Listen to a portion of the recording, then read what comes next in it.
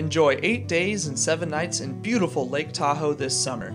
Fishing, boating, jet skiing, golf, hiking, and biking are just some of the things that await you in this two bedroom suite with a living room, fireplace, and a full kitchen that sleeps six. Finish your summer right at this Lake Tahoe getaway.